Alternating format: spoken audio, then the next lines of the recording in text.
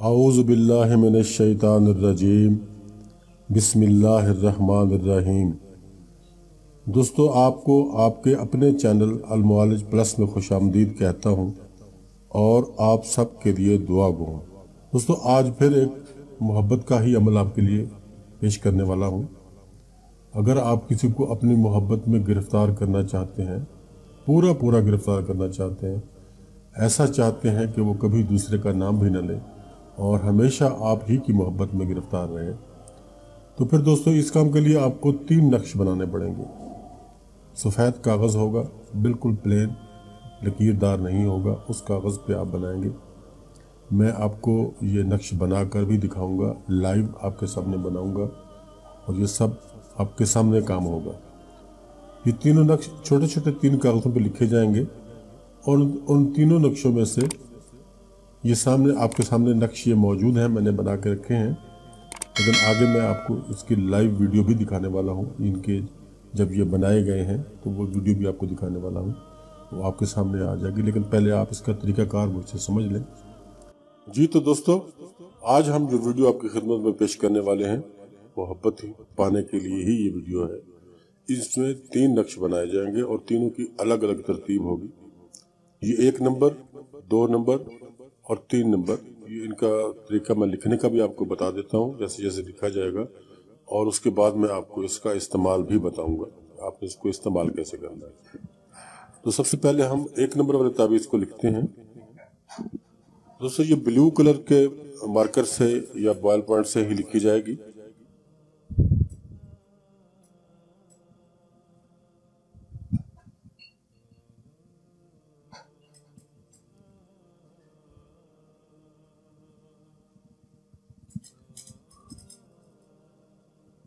ये तीनों आठ आठ खाने के नक्श हैं।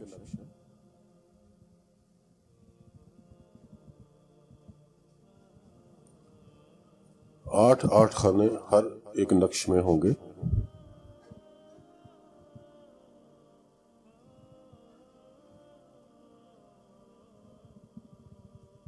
जी तो ये आपके आठ खाने तैयार हो गए। अब आठ खानों में जो एक नंबर का नक्श है, उसमें आपने क्या लिखना है? सबसे पहले आप राइट साइड पे, ऊपर की तरफ़ एक लिखेंगे, उसके नीचे आठ लिखा जाएगा, उसके नीचे फिर आप तीन लिखेंगे, और फिर उसके नीचे पाँच लिखा जाएगा। और दूसरी साइड पे, लेफ़्ट साइड पे, ऊपर सात, नीचे दो, उसके नीचे छ और उसके नीचे चार लिखा जाएगा। ये आपका एक नक्श तैयार हो गया। पहले नंबर पर अब दूसरे नक्श की बारी है।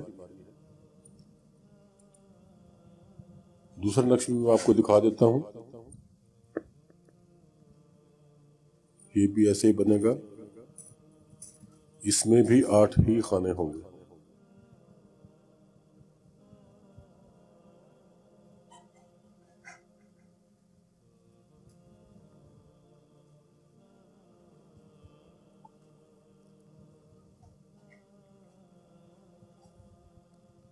दोस्तों, ये बिल्कुल मुश्किल नहीं है, बिल्कुल आसानी से बनने वाले नक्शे हैं। इसलिए मैं आपको रिकमेंड करता हूँ कि आपने ही, आपने खुद ही इनको बनाना है।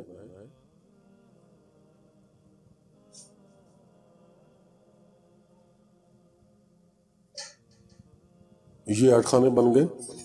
अब इसमें जो सबसे पहले लिखना है हमने, इसको इस साइड से लिखा जाएगा। इस तरीके से लिखा जाएगा इसको। सबसे पहले आप नौ लिखेंगे, उसके नीचे चौदह लिखा जाएगा। उससे आगे फिर पंद्रह आ जाएगा यहाँ। उसके नीचे अट्ठारह आएगा। उसके आगे ग्यारह। यहाँ सत्रह। यहाँ तेरह। और यहाँ बारह। ये दूसरा नक्श भी आपका तैयार हो गया। अब है ये आपका तीसरा और आखिरी नक्श।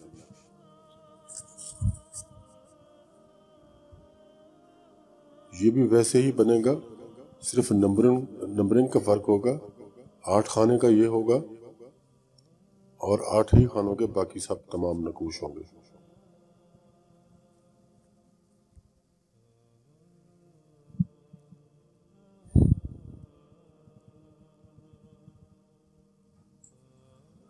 ये देखें, अब आठ खाने इसके आपके सामने बनाए जाएँगे।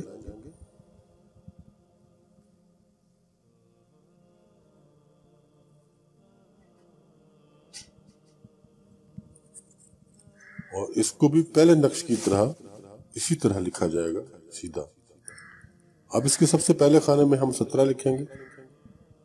उसके नीचे हम इक्कीस लिखेंगे। उसके नीचे उन्नीस और उसके नीचे चौबीस।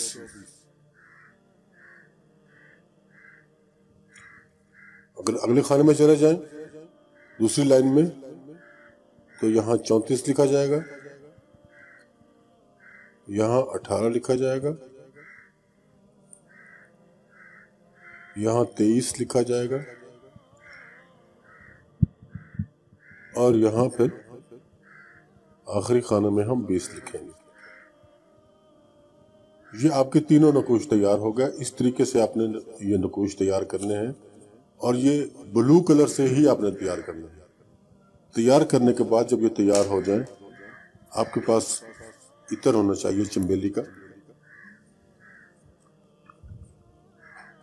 ये दो दो तीन तीन कतरे जितना आपने इसके ऊपर लगाना है।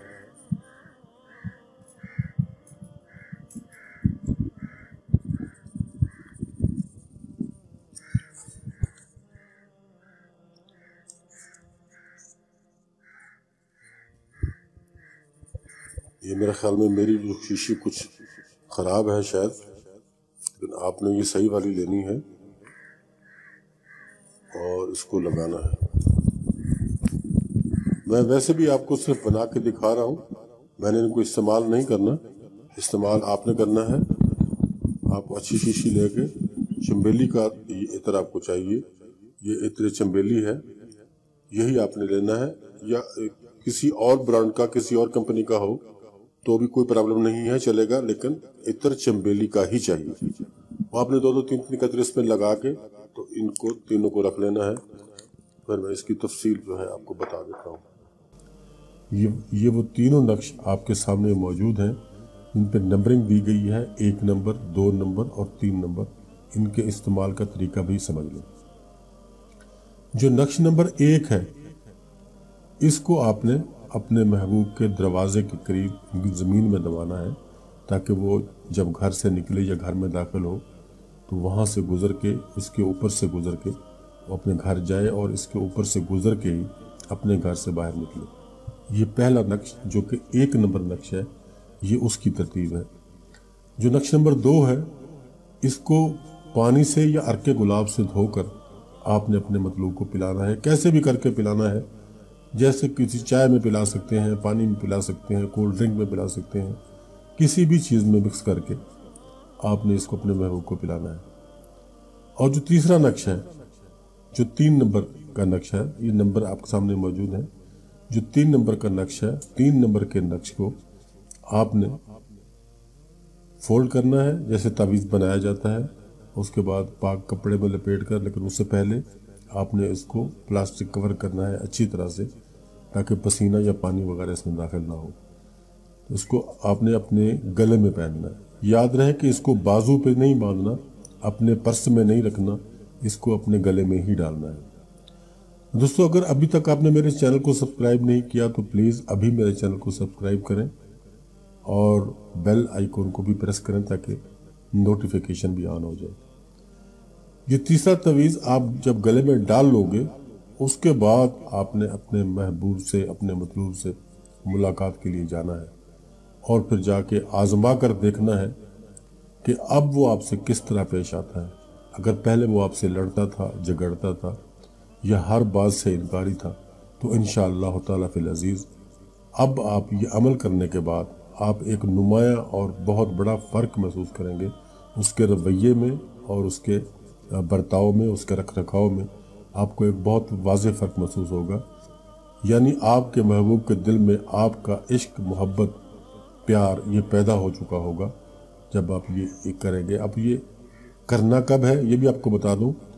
ये आपने जुमेरात के दिन बनाना है जहर की नमाज़ के बाद। जहर की नमाज़ के बाद बनाना है और असर की नमाज़ से पहले पहले आपने इस अमल को मुकम्मल करना है।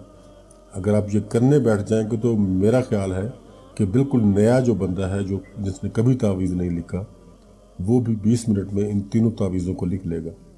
जो लिखने वाला है, वो तो दो मिनट भी नहीं लगाता, लेकिन जो नया बंदा है, नहीं लिख सकता, वो भी इस इस पंद्रह से बीस मिनट से ज़्यादा इसके ऊपर टाइम लगने वाला बिल्कुल भी नहीं है। इसके ऊपर अपने किसी किस्म की कोई पढ़ाई नहीं करनी, क्योंकि इसके ऊपर सब कुछ किया जा चुका है, हर चीज़ इसके ऊपर मुकम्मल है। और ये नकोश मैं आपको इजाज़त के साथ दे रहा हूँ। लेकिन शर्त वही एक है, जो कि मेरी अक्सर हर वीडियो में होती है, कि इसको जायज़ काम के लिए ही बनाना है, नाजायज़ काम के लिए बिल्कुल भी नहीं करना। मुझे यकीन है कि आप इसको जायज़ काम के लिए करेंगे, नाजायज़ काम के लिए नहीं करेंगे। इन तज़ीज़ जहाँ आप चाहते हो वहाँ आपकी शादी होगी, आपके महबूब के दिल में आपकी मोहब्बत पैदा होगी। और आखिरी बात कि दुआओं में हमें भी याद रखिएगा। तो दोस्तों, मेरी आज की वीडियो बस यहीं तक थी। अगर पसंद आई हो तो लाइक और शेयर भी करें और न्यू आने वाले दोस्त चैनल को ज़रूर सब्सक्राइब करें। मिलते हैं नेक्स्ट वीडियो में। तब तक के लिए अल्लाह निगेबान